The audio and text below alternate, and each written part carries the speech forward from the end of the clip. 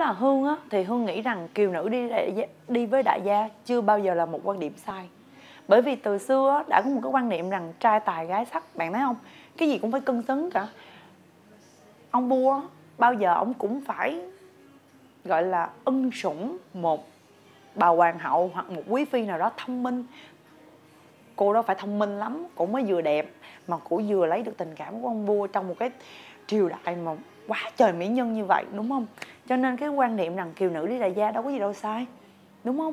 Họ đẹp, họ là đại gia thì họ cũng phải cần một cái người tương xứng. Nhưng nếu như họ không có gia đình, nếu như gia đình của họ vì một lý do nào đó đã không đi đến cùng với nhau và họ đã rõ ràng xong và cô này đến với anh này, cô chấp nhận được, cô chấp nhận được, cô phải đánh đổi rằng cuộc sống là một con chim trong lòng son, thì cổ chấp nhận, thì cổ chịu. Nhưng không phải,